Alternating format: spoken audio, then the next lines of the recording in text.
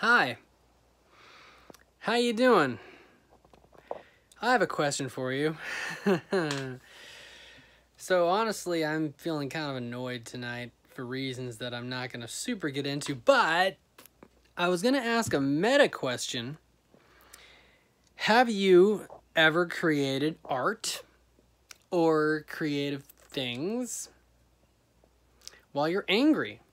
Have you been able to harness that energy or that emotion into something that has been helpful to you or served you?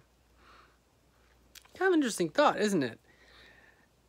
Can we take negative emotions and transmute them into positive? Now, Harry Uhane Jim, a wonderful kahuna, a kahuna who kahunas, said in his book, Wise Secrets of Aloha, that human beings were the only animal on this planet that could do that.